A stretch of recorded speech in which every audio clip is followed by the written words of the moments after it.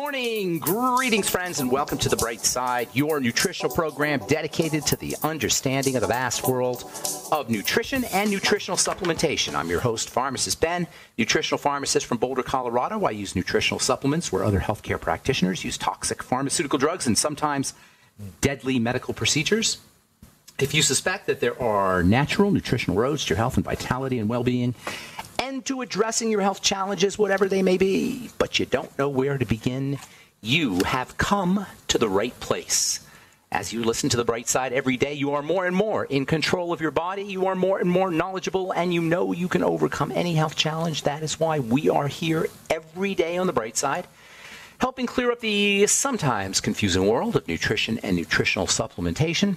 Over the last 31 years of practicing pharmacy, I have seen drug free recoveries from diabetes, hypertension, obesity, skin diseases like acne, psoriasis, eczema, rosacea, digestive ailments, autoimmune issues of all kinds, recoveries that by the standards of modern medicine can only be called a miracle. But what is in the world of the body, what is in the world of biology, standard operating procedure because the human biological system is a healing system, it's a regenerating system. It is designed divinely to heal and renew itself on a moment to moment basis. And while some folks may call that healing, renewing, regenerating system a miracle, it really is just the way the body works. If you have questions about health, nutrition, prescription drugs, if you want to wean yourself off your meds and get on a good nutritional supplement program, we are here for you on the bright side, 844 236 6010 is our number, 844 236 6010. If you have questions about the longevity products, longevity business, health challenges you or a loved one may be dealing with, we can help you. 844-236-6010 is our number, 844-236-6010. If you want to purchase any of the longevity products you hear advertised or recommended on the program, please head to brightsideben.com, pharmacistben.com, or criticalhealthnews.com. You can order longevity products right off our websites, brightsideben.com, pharmacistben.com, or criticalhealthnews.com. You can also sign up to join the Brightside Ben team right off the websites, brightsideben.com, pharmacistben.com, or criticalhealthnews.com. We've got blog posts, news stories, videos, as well as the longevity products, and a join the team link that you can click on for a one time $25 fee. You can start a longevity business. You can be in business for yourself. You can help change the world at the fundamental level, the most fundamental level, which is the level of good health. Nothing else matters, folks. If you're not healthy, nothing else matters. Ask anyone who's got an autoimmune disease or, God forbid, cancer or heart disease, and they'll tell you Nothing else matters. It's all about health. And if you if you are interested in changing your life or the lives of your friends, families, loved loved ones, at this foundational level and you want to make some money doing it, if you're an entrepreneur, you like the entrepreneur lifestyle, please join the team. Click on the Join the Team link for one time $25 fee. You can be in business or call 866 735 2470. 866 735 2470 for more information. Okay, welcome back to the bright side. We have been talking a lot about stress, the number one health issue of our times, more specifically, stress management. I think it's very important to make this distinction between stress and stress management. Stress management is reflected in stress management hormones in the body. Stress management hormone in the body. It gets called stress hormone, but it's really stress management hormone. And this is a very important distinction. Stresses are always going to be there. It's the management of the stress that's the issue.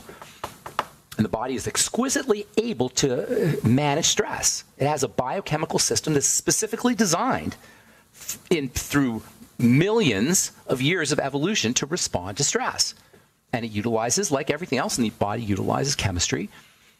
Specifically, in, in terms of stress, it utilizes stress hormone chemistry, stress management hormone chemistry, cortisol slash cholesterol.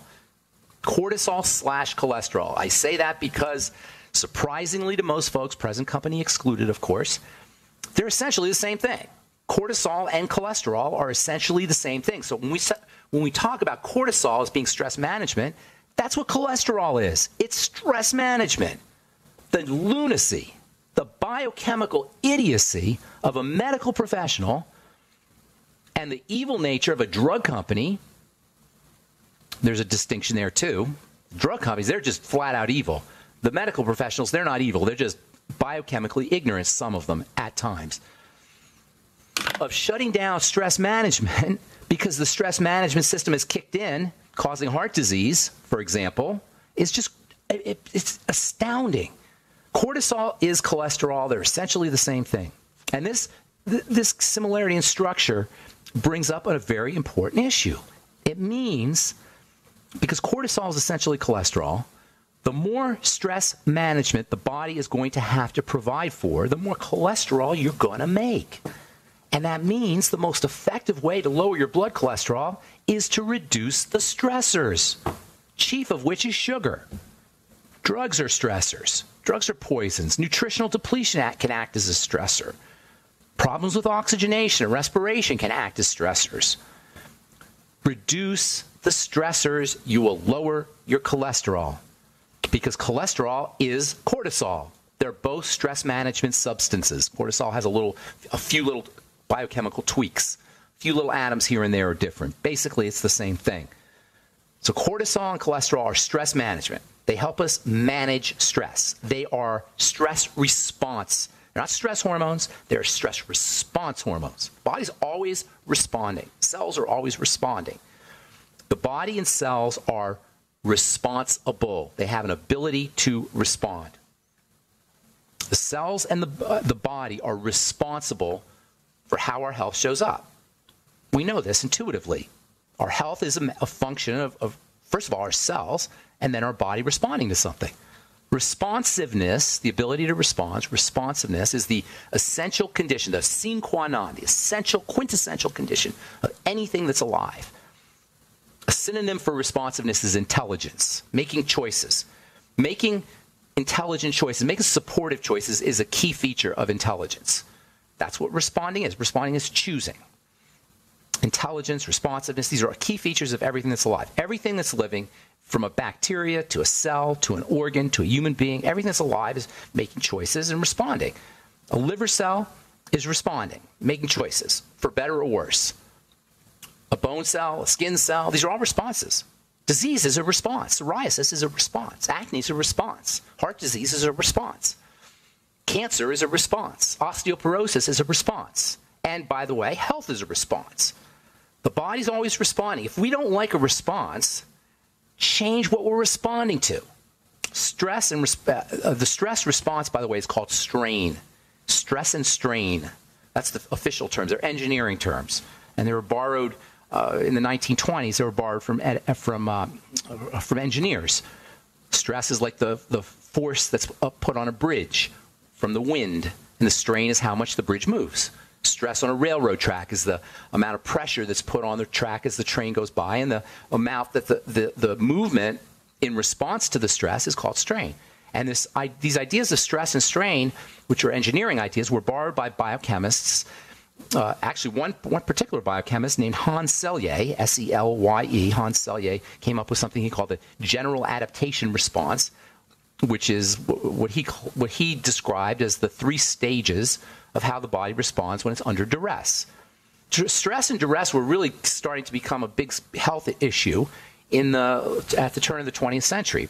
Basically, towards the end of the 19th century, as the Industrial Revolution was kicking in big time, and as our understanding of the mind started to take place, Sigmund Freud started to come up with his ideas in the late 19th century, how we began to start to understand things about the mind and about our psychology and about how our psychology affected our biology. Hormones, they started to study hormones. They started to, they discovered hormones right around that time. They started to synthesize hormones, particularly the steroid hormones. Various organs of the body, like the adrenal glands and the liver, were starting to become sites of research or targets of research. And this is all happening around 1920, the ni- between the 1880s and 1920s or so. Hans Selye, S-E-L-Y-E, wrote a book called The Stress of Life. You can still get it off Amazon. It's a classic book on stress. And he came out with, with what he called the General Adaptation Syndrome. The General Adaptation Syndrome is a three step process, which is, we'll talk about here in a second when we come back from our break, a three step process that the body goes through when it's under duress, when it's under stress. And Hans Selye said this stress and duress is the, is the cause of all chronic diseases. And this is the third point on the triangle of disease. He was 100% correct. All right, 844 236 6010 is our number. I'm Pharmacist Ben. You're listening to The Bright Side. We'll be back right after this.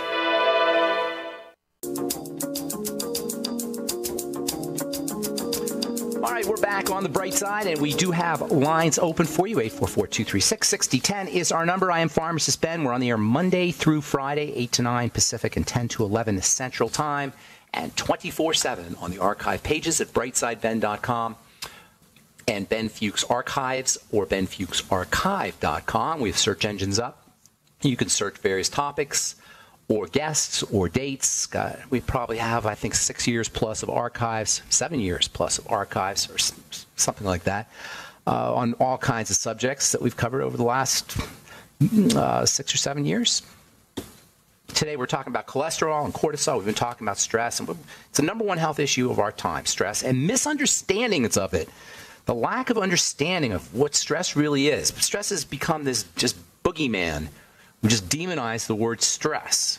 It's not the stress, it's the response to the stress. This whole idea of how uh, of stress and the body's response to stresses was uh, first elucidated, at least scientifically, by or medically, by a guy named Hans Selye in the book The uh, Stress of Life. He came up with something he called the General Adaptation Syndrome. The general adaptation syndrome is a three step process that, according to Selye, describes how the body responds to stresses, stressors, ARE, Alarm Response Exhaustion. That's the General Adaptation Syndrome. The stress response. It reminds me of uh, the famous quote by the philosopher Arthur Schopenhauer, Arthur Schopenhauer, who said, uh, who said, uh, new ideas are first laughed at, then they're resisted, and then they're finally accepted. He said that to describe new ideas, and that's kind of like the body's response to stress. First, there's alarm, then there's resistance, and then there is uh, uh, then there's exhaustion, just giving up. And this highlights, by the way, the relationship between change and stress. Stress is really basically a type of change. The body doesn't like changes. Now, there are changes that are obviously are part of being alive, and the body has evolved a system to kind of modify those changes. Changes have to be assimilated and thereby eliminated. They get taken in, not resisted, but taken in, assimilated. The resistance is a result of cha- uh, uh, resistance to change or resistance to stress is a result of change that has somehow not been absorbed, taken in. The original meaning of stress, remember, is, is a, uh, a force that's placed on an engineered object. It's the force. The force should be assimilated by the bridge, by the metal. A smart, a good engineer or good engineering will, or a, good piece of, of uh, uh, Uh, of textile or, or, of steel or of iron will be able to assimilate forces, will be able to absorb forces. That's how you make a good bridge. I'm not an engineer, but I just assume that just that if you're going to make a good bridge, it has to be able to absorb the force of the wind. Can't keep swaying around. Now, the swaying is a manifestation of strain. Eventually, the strain is going to make the bridge break. But if a bridge is engineered correctly, strain will be minimal stress will be assimilated and absorbed. And the same thing is true about the body. Our stresses have to be absorbed. And that's not just physical stresses, that's psychological stresses too. Emotional stresses. Grief is a classic example. Grief is a classic example of how of either an ability or an inability, depending on how you look at it, to handle change. Death is change and we suffer from changes all the time. None is none is non-negotiable, maybe as death, but we do. We go through it all the time. It's part of being alive. And part of being alive is to be able to assimilate those stresses. In fact, according to something called systems theory, the body's a system, and there's a whole theory of how systems operate called systems theory.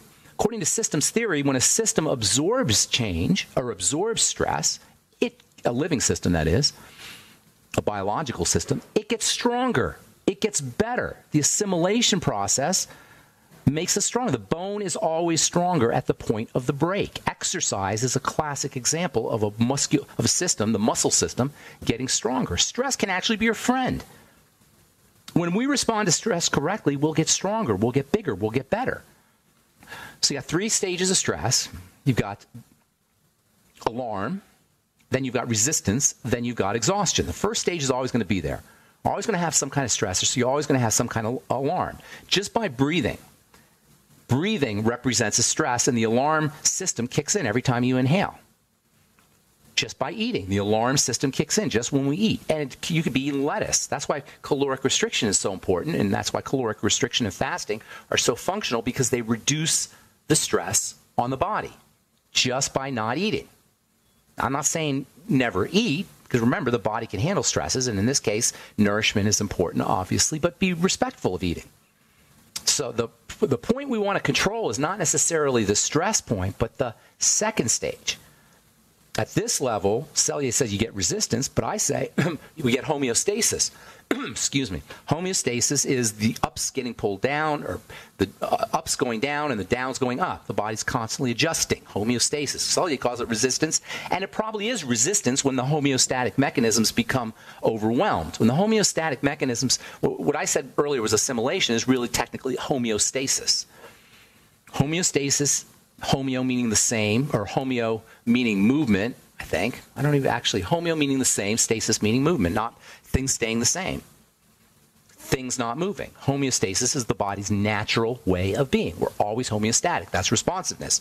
Resistance, the second stage in the GAS, that's really where you run into a problem. You don't want to be resisting change. You want to be assimilating it, homeostatically manipulating it. We only resist when we're no longer able to handle a problem, problem homeostatically. Homeostasis requires energy. Homeostasis requires nutrition. This is where our problem is, at least physiologic, physiologically. We don't have the energy to, to be able to assimilate the changes. And it starts with a poor nutrition. When nutrition is depleted, when we don't have the vitamins, we don't have the minerals, and when our stresses are chronic over and over and over and over again, especially food stresses, this is where we run into problems. We can't eliminate stress, that's part of life, but we can reduce the strain by improving the body's ability to handle the stress. Using nutrients, using vitamin C, quint, uh, the quintessential, well, vitamin C and the B complex are the quintessential anti stress vitamins.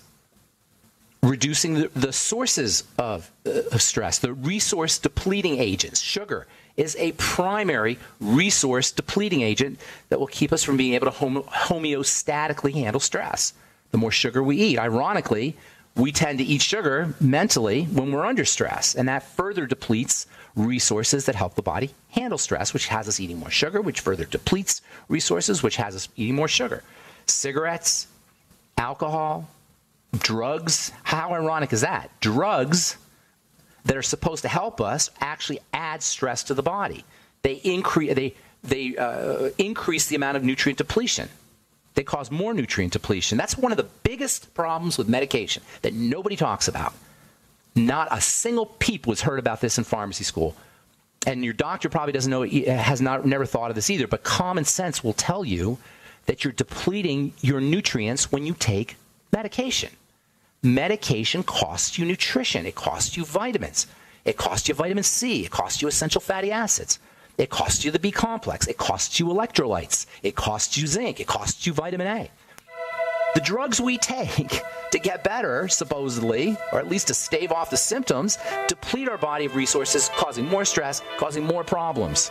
And nobody talks about it, but it's common sense when you understand how the body works, at least. All right, 844 236 6010 is our number. I am Pharmacist Ben. You're listening to The Bright Side on the Genesis Communication Network. We'll be back right after this.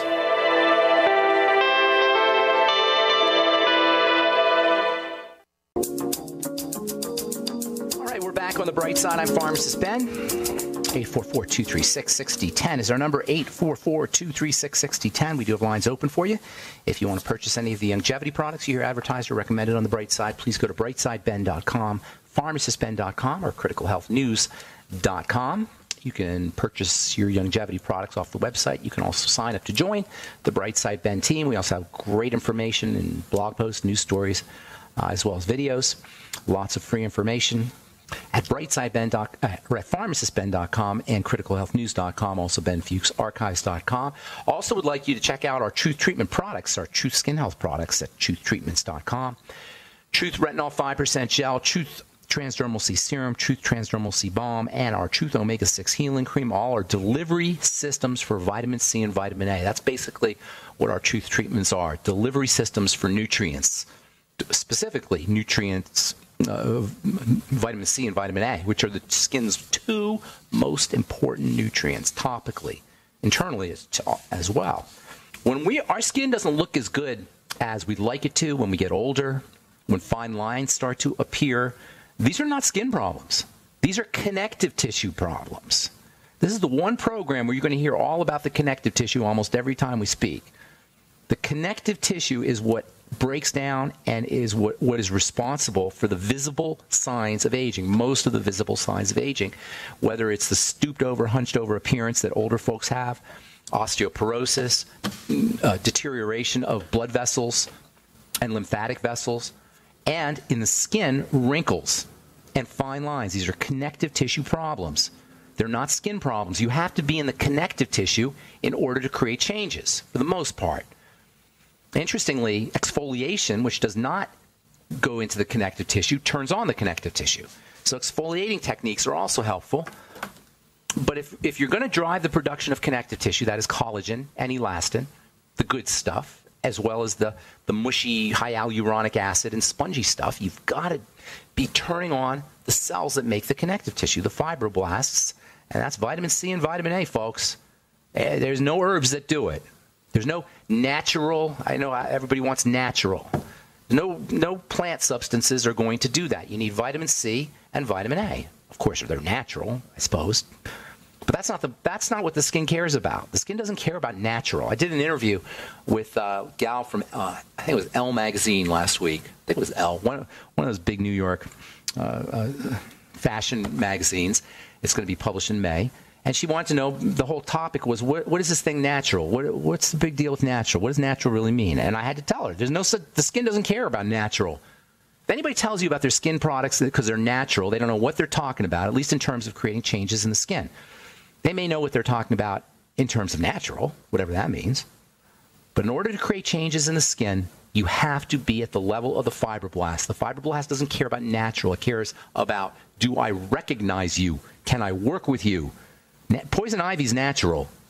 Fibroblast does not need any poison ivy. Vitamin C and vitamin A, they're natural, but they're beyond natural. They're recognized, they're utilized. The skin has an ability, the fibroblast, the cell that makes all the good stuff, has an ability to use these substances. That's why vitamin C and vitamin A are the two most important topical nutrients, topical ingredients that you can ever put on your skin. Where can you get them? In high concentrations? truthtreatments.com, truthtreatments.com. All right, 844-236-6010 is our number. We'll get your calls here in just a sec. Uh, I've been really getting into this thing called mindfulness. I've been personally had a meditation program for since I was in my 20s. Mindfulness is, isn't exactly meditation; it's paying attention. And mindfulness is a powerful uh, cortisol lowering strategy, anti-stress strategy from uh, this is from uh, the Journal of the, Medic- of the Thailand Medical Association. Journal of the Medical Association of Thailand, effects of mindfulness meditation on serum cortisol of medical students. Mindfulness, uh, mindfulness meditation is a method to relax the mind that decreases stress, which otherwise would increase serum cortisol. So, mindfulness meditation should decrease serum cortisol. Conclusion Mindfulness meditation, mindfulness meditation lowers the cortisol levels in the blood, suggesting it can be used to lower stress and may decrease the risk of diseases. This uh, another one here. This one is from Newsweek magazine. Actually, mindfulness therapy as effective as antidepressants, according to new study. Recent, recent research into mindfulness, focusing on the present moment through meditation, has shown that the practice comes with myriad health benefits from alleviating pain to post traumatic stress disorder. Why don't our doctors tell us about this? Because we don't need a doctor to meditate. Meditation beats medication. Meditation is using yourself, using your mind, using your power, using your inherent ability to, to deal with stresses rather than to be medicated. This is from Oxford University. They call it MBCT, by the way, mindfulness based cognitive therapy. According to William Kuyken, K U Y K E N, of Oxford University, professor of psychiatry and lead author of the study. While MBCT, mindfulness based cognitive therapy, fancy way of saying mindfulness, paying attention, is not a panacea, it does clearly offer those with substantial history of depression a new approach to learning skills to stay well in the long term. Well, what are your choices if you're depressed? Because the drugs don't work. In the book, The Emperor's New Drugs, I forgot the guy's name who wrote it. It's a great book if you're on antipsychotic, uh, antidepressant medication. The Emperor's New Drugs. Irving Kirsch, I think his name was. He talks about how the vast majority of these things, these antidepressants, are placebo. They don't work any better than placebo, than a sugar pill. On the other hand, MBCT offers people a safe and empowering treatment choice when it comes to antidepressants or antidepression. Depression is an, another interesting subject. Uh, you know, I'm always hesitant to use nutrition or use physiologic or use physical strategies to deal with emotional issues. You know, we have a big problem with pain pills here, and everybody wants to make the government wants to make pain pills even harder to get. And people who are really in pain now can't get pain pills. I'm a pharmacist. I don't like drugs, but I'm a pharmacist, and I tell you, I've had pain pills. I've been in pain, and thank God for pain pills. They are, if not the biggest advance, uh, the most positive and most important advance in all of pharmacology. They're one of. You know how they used to have to do surgery without without anesthetics? Can you imagine having surgery without an anesthesia? Without anesthesia? Can you imagine dealing with chronic long-term pain and not have any relief, or surgical pain and not have any relief? The problem isn't the pain pills. The problem is everybody needs to escape from life. We've created a culture where we all need to escape from life. We're all in existential pain. It's the culture. All right, 844-236-6010 is our number. Let's go to Wally in Wisconsin. Let me see if I get to Wally. Get to Wally here. What's up, Wally? Good morning. Hey, Ben. How are you, sir? Doing good. What's going on? I got two questions for you. Yes, I'm sir. calling in for a friend of a girlfriend in Montana. Friend of a girlfriend, okay. The, uh, the friend of the girlfriend has something called Shulman's disease. Okay, I know what that is. Uh, it's also called, I believe, eosinophilic fasciitis. That's that's that's really a more a more descriptive term than Shulman's disease, or it's actually called Shulman's syndrome because it affects everything, lots of different parts of the body. And this is a classic example of why medicine doesn't work. Medicine is obsessed with classification and diagnosis. And so they come up with these little names of things, and then they treat the names. And this is why medicine doesn't work, is because we're treating names. We're not treating biochemistry. We're treating diagnosis. Very subtle difference. But if you understand this difference, you can understand why medicine is a failure when it comes to dealing with these problems. Do you have a protocol to, to deal Absolutely. You know, I'll tell you, it's, it's, you've heard me say it a million times if you've been listening to this program. So hang on. We'll talk about Shulman's disease or fasciitis, basically eosinophilic. E- eosinophils are im- cells of the immune system. So it's immune fasciitis. It's inflammation of the fascia. Okay, it's not, and fibers form. All right, hang on. We'll finish up when we come back from our break. Look.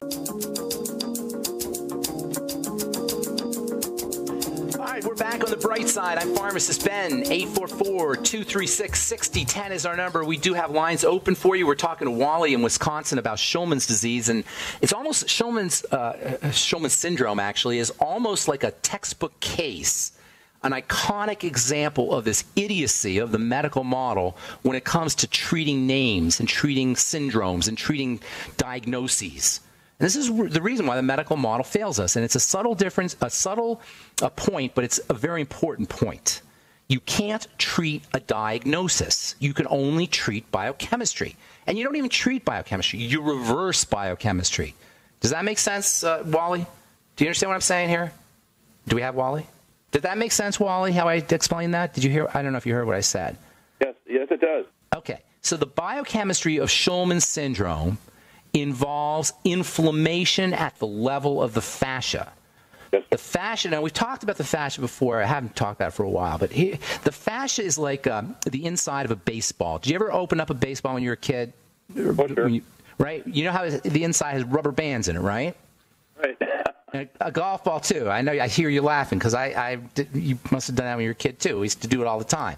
We we we hit a baseball until it just the coverage just was completely worn off of it because baseballs cost a lot of money back then, I guess. And uh, and I was always fascinated by the inside, and the inside would have rubber bands in it. And I'm like, what the heck are those rubber bands doing? The rubber bands give the baseball spring, so when Right. you hit it, it goes far. Right? You know what I'm saying? Your body is a spring-loaded device too, like a baseball. Spring, spring, it, it gives you leverage. So a little bit of movement gives you a large amount of, or a little bit of pressure gives you a large amount of movement. Golf balls use it, um, uh, baseballs use it, the body uses it. In the body, they don't have rubber, we don't have rubber bands. We have fascia.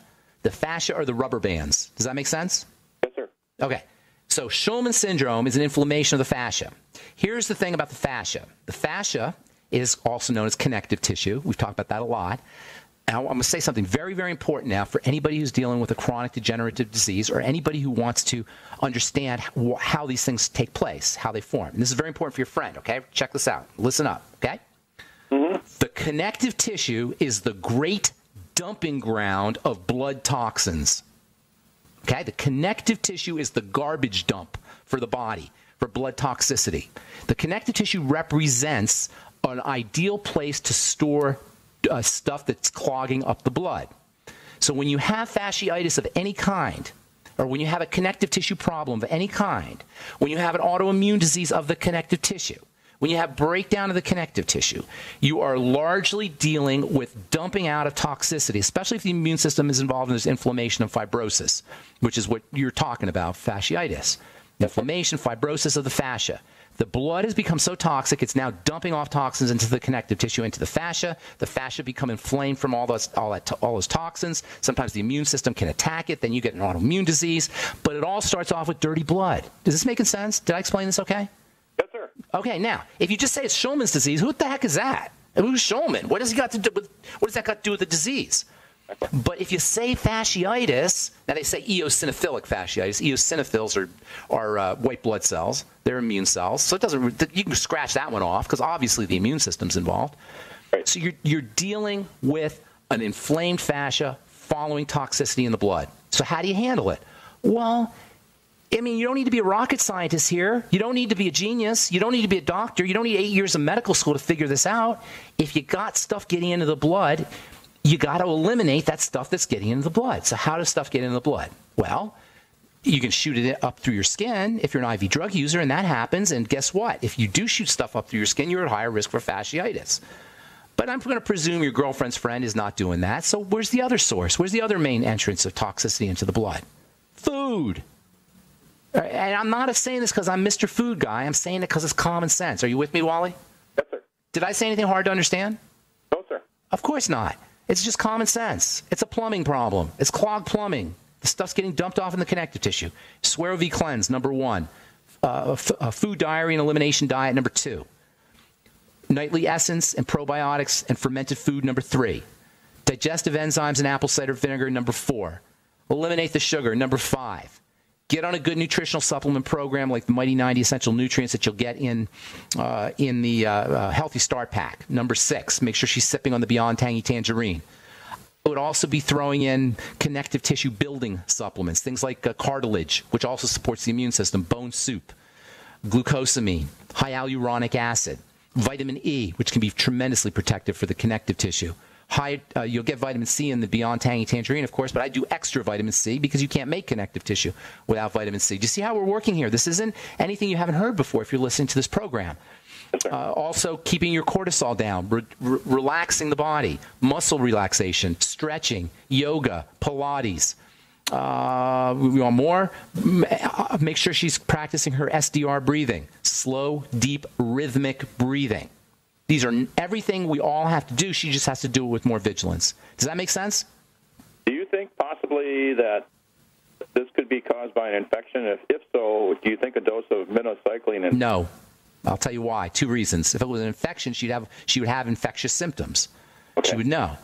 Secondly, minocycline kills bacteria, all bacteria, including gut bacteria. Considering the problem begins in the gut, it is completely counterproductive, borderline idiocy for anybody to prescribe minocycline to take uh, for this kind of condition. Borderline idiocy. I'm not sure where that border is because it seems pretty idiotic to me when you understand where uh, where the problem is beginning. Right? There's no good drugs. Do you need minocycline sometimes? If you have an infection, maybe, yeah, but not for this condition like this. This is this, this is your girlfriend's friend, so you probably don't know the answer to this, or you may. Does she have any other health challenges? Does she have a history of digestive problems? Does she have a history of gluten intolerance? Does she have a history? You don't know the answer, or do, are you saying no? I don't know the answer. You don't know the answer, right? Ask them. That's what I always do. I always ask. That's the first thing I always ask when I'm doing a consultation. All right, what, what's, uh, we're running out of time here. Did you have something else you want to ask? Uh, yeah, I wanted to ask you. A couple of years ago, I called you about a friend who had uh, turned out it was uh, West Nile virus. You were correct in your diagnosis. And I, I don't. I, I never diagnose. First of all, say that again. Now I didn't, I didn't quite catch that. I had a, another call a couple of years ago where I asked you about symptoms, and you and you said it was probably West Nile virus. And then I asked you if you would ever put on skis again. If I was ever put on what? If you were ever, if you ever went skiing again. Oh, Did I tell you about my skiing experience? I don't remember telling you that.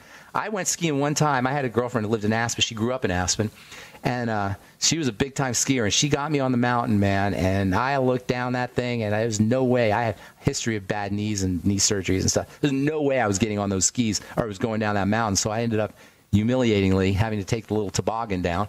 And no, I never went skiing again. I never never plan on it. Oh, I'm sorry. Thank you very much. Oh, thank you very much for taking. All right, I appreciate you calling, Wally. I don't remember telling you that story. That, yeah, no, I, I, that never seemed like much fun to me. Although I have to say, the Winter Olympics, those guys, those guys, uh, the, the skiers in the Winter Olympics, they're amazing. All right. That's it for today, I guess. Nobody else is on the call. I hope I'm not. I hope I'm not being self-righteous here. I don't mean to be self-righteous, but it's so important that we understand how the body is work, how the body works when it's breaking down, how the body works, and how the body works when it breaks down. Because the doctors aren't helping us. The medical model's not helping us.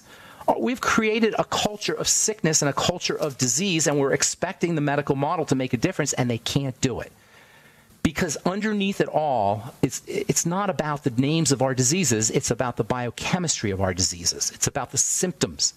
And we don't need to have a doctor to address these basic biochemical symptomology because it is all coming from the same place. It's coming from the foods we're eating, it's coming from the nutrition we're not getting, and it's coming from uh, our inability or a lack of resources to handle the duresses, the ups and downs of life. None of this is medical.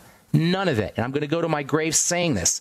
We don't need the medical model to be healthy, with the exception, of course, of, uh, of mechanical trauma, that kind of thing. That's where the medical model excels. But when it comes to chronic, long term degenerative diseases, it is about the choices we're making in our life. And it starts with, it starts with food, continues into nutritional supplementation, and then uh, it finishes up with stress management, food, nutritional supplementation, stress management. And when I say food, I'm talking about sugar as well. It's a triangle of disease, you guys.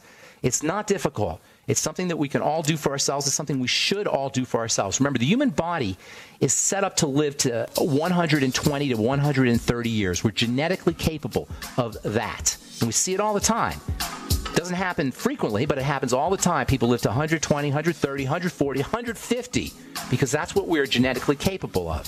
Now, whether you want to live to 150 or not, I don't know, but certainly we don't have to decay and rot and deteriorate by age 50 or 60 or 70.